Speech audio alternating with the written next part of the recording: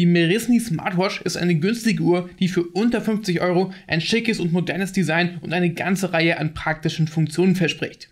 Doch gerade bei solchen günstigen Smartwatches kann man sich wirklich nie sicher sein, ob man hier auch wirklich alles bekommt, was vom Hersteller versprochen wird und ob die versprochene Qualität auch eingehalten wird. Deshalb möchte ich euch in diesem Video einmal einen Überblick über alle Funktionen und Features der Uhr geben und euch von meinen Erfahrungen berichten, die ich beim Nutzen der Uhr bisher so gesammelt habe. Also viel Spaß! So, das hier ist die Merisni Smartwatch. Schauen wir uns die Uhr als erstes einmal so ein bisschen von außen an. Also, ja, wie ihr sehen könnt, hat die hier so ein schickes, modernes, viereckiges Design. Das Ganze erinnert natürlich so ein bisschen an die Apple Watch, auch mit der Krone hier an der Seite. Ja, sieht man schon, dass es davon so ein bisschen inspiriert ist. Aber trotzdem muss ich sagen, sieht das Ganze vor allem für den Preis wirklich schick aus.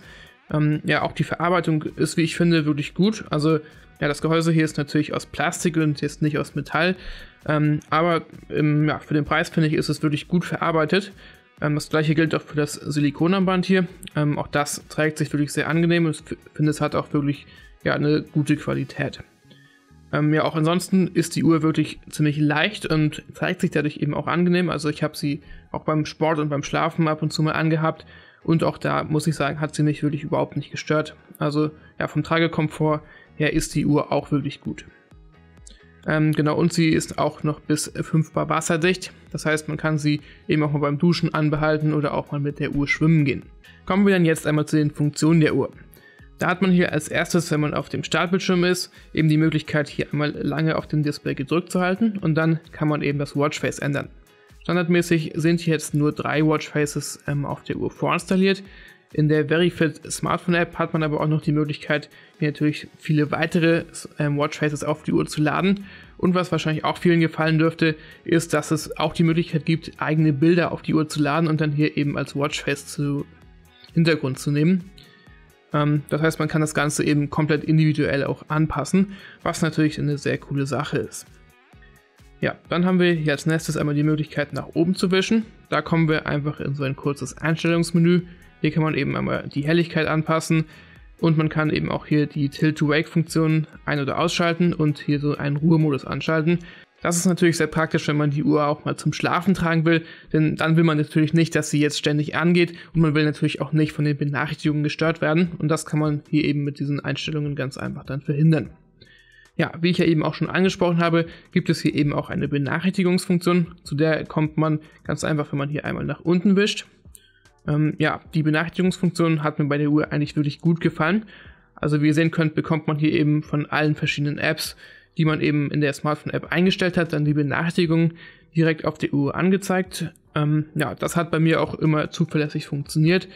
Und genau, man kann dann die Benachrichtigung hier eben auf der Uhr direkt lesen, kriegt eben so eine kurze Vibration ähm, eben als Benachrichtigung. Und ja, dadurch ist man dann eben immer direkt up to date und kann eben dann zum Beispiel hier raufgehen und die Nachrichten dann lesen. Was natürlich leider nicht geht, ist ähm, auf die Nachrichten auch zu antworten. Aber ja, das ist bei einer Smartwatch für diesen Preis jetzt eigentlich auch nicht zu erwarten. Dann haben wir als nächstes hier einmal die Möglichkeit nach links oder rechts zu wischen und uns die verschiedenen Widgets der Uhr anzuschauen. Da haben wir als erstes einmal das Aktivitätstracking. Da seht ihr eben einmal die aktuelle Schrittzahl, die man im Tag bisher gemacht hat und wie viele Kalorien man dadurch eben verbrannt hat. Dann haben wir als nächstes hier einmal eine durchgängige Herzfrequenzmessung. Ähm, ja, die misst eben in regelmäßigen Abständen über den gesamten Tag die Herzfrequenz und zeigt das Ganze dann hier in diesem Diagramm eben an. Ähm, ja, das ist, denke ich, auch eine wirklich coole Funktion. Dann kann man eben direkt über den ganzen Tag sehen, wann man jetzt eine besonders hohe oder niedrige Herzfrequenz hat und hat so eben auch immer seine Herzgesundheit im Blick. Das ähm, gleiche gilt auch hier für die Stressmessung. Also die misst eben genauso wie die Herzfrequenz auch über ähm, den gesamten Tag hinweg das Stresslevel und das Ganze sieht man dann hier auch in so einem schicken Diagramm einmal angezeigt. Und dann haben wir hier als letztes dann einmal noch den Sportmodus. Hier kann man eben einmal das letzte, die letzte Übung, die man eben gemacht hat, einmal auswählen oder man kann hier auf mehr tippen und dann sieht man hier einfach alle Sportmodi, die es auf der Uhr eben gibt. Also das Ganze geht eben von sowas wie Laufen, einmal im Freien und Inneren. Ähm, dann kann man eben auch wandern, Radfahren, es gibt Yoga, ähm, es gibt hier so Krafttraining und man kann eben auch mit der Uhr schwimmen gehen oder an so einem Rudergerät oder Crosstrainer eben auch trainieren. Also es gibt hier ähm, insgesamt 14 Sportmodi. Ähm, genau, welche sind, habt ihr eben gesehen. Also ja, da kann man durchaus einiges an Übungen aufzeichnen. Ähm, ich zeige euch auch mal, wie das Ganze dann live hier aussieht, wenn man eben so einen Sportmodus dann aufzeichnet. Also man sieht hier eben einmal, wie lange man gerade trainiert, man sieht seine Herzfrequenz und wenn man dann hier runter geht, sieht man auch noch die verbrannten Kalorien und die aktuelle Herzfrequenzzone. Ähm, ja, dadurch kann man dann eben sehen, ob man jetzt gerade eher in so einer mittleren oder hohen Intensität trainiert.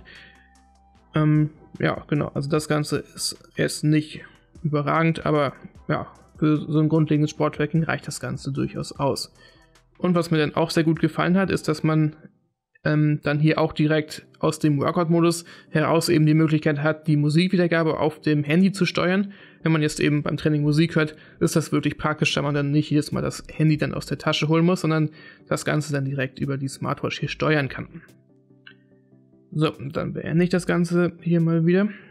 Und dann können wir uns jetzt... Ah ja, genau, ich muss hier noch einmal lange gedrückt halten, um das auch wirklich zu beenden. Und dann, ja, muss ich hier nochmal bestätigen. Ähm, genau, das Ganze. Äh, äh. Okay, dann noch einmal. So. Genau, also was ich sagen wollte, das Ganze ist natürlich auch sehr gut, dass man hier jetzt extra nochmal lange gedrückt halten so, muss. Ähm, denn dadurch wird eben verhindert, dass man jetzt aus Versehen so ein Workout eben einfach mal beendet, wenn man das eigentlich noch gar nicht will. Ähm, dann können wir uns jetzt auch nochmal die Workout-Auswertung ähm, ähm, anschauen.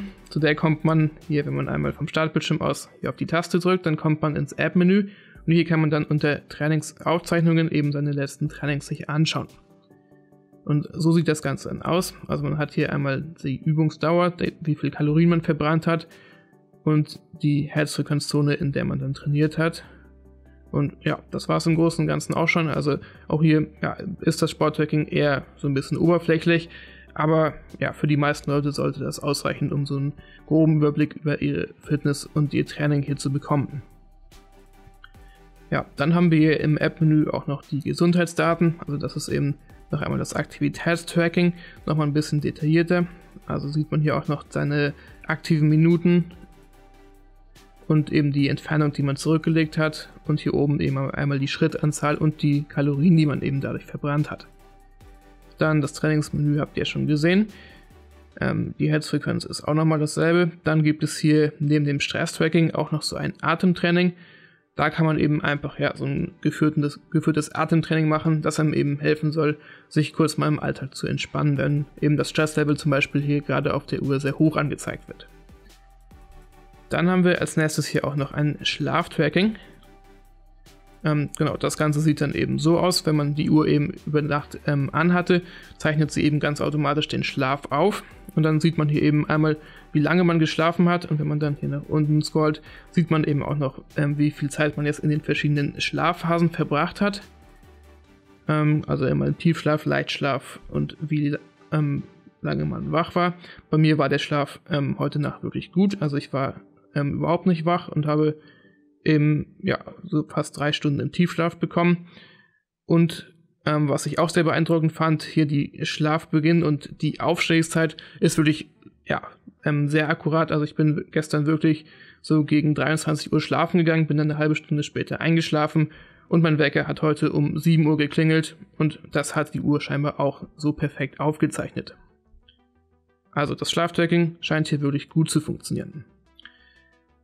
Dann haben wir hier einmal noch eine Wetteranzeige. Da sieht man eben einfach einmal, wie das Wetter aktuell ist. Das ist, denke ich, auch mal eine coole Funktion auf der Uhr zu haben. Dann haben wir hier einmal noch die Musiksteuerung, die man ja auch im Workout-Modus hat. Dann haben wir hier noch eine Stoppuhr, ähm, einen Timer und es gibt eben auch die Möglichkeit, sich einen Wecker direkt auf der Uhr einzustellen, was auch immer eine coole Funktion ist, wenn man dadurch eben ja so ein bisschen angenehmer geweckt wird durch so eine leichte Vibration und nicht immer durch so ein lautes Klingeln. Also das kann man hier auch auf der Uhr zum Beispiel einstellen. Dann hat man auch noch die Möglichkeit, sein Handy zu suchen, wenn man das gerade mal nicht finden kann. Und hier in den Einstellungen kann man dann eben auch noch ein paar äh, Sachen an der Uhr einstellen. Ja, das war so im Großen und Ganzen alles, was man hier mit der Merinsi Smartwatch so bekommt. Also es ist, ja, finde ich, wie ich finde, durchaus ein ganz gutes Gesamtpaket für den Preis. Natürlich sind hier jetzt keine großen innovativen Funktionen dabei, aber ja, gerade für den Preis bekommt man hier eigentlich alles, was man so erwarten kann. Alles in allem bekommt man mit der Merinsi Smartwatch eine für ihren Preis wirklich sehr solide Smartwatch. Sie ist mit allen grundlegenden Funktionen ausgestattet, die man von einer Smartwatch erwarten kann und alle diese Funktionen funktionieren auch so, wie sie sollen. Vor allem die zuverlässige Benachrichtigungsfunktion und die wirklich sehr gute Akkulaufzeit von bis zu 30 Tagen haben mir an der Uhr wirklich gut gefallen. Abgesehen von einigen Verbindungsabbrüchen zum Handy sind mir während meines Tests auch keine Probleme an der Uhr aufgefallen. Natürlich darf man hier jetzt auch keine High-End Smartwatch erwarten, aber die Mirinzi Smartwatch hält, was sie verspricht und ist für ihren Preis, denke ich, eine wirklich solide Uhr. Wenn man also nach einer günstigen Smartwatch sucht und einem das moderne und viereckige Design der Uhr gefällt, dann kann man hier wirklich bedenkenlos zuschlagen. So, ich hoffe, das Video hier konnte euch weiterhelfen. Falls ja, dann lasst gerne einen Daumen nach oben da.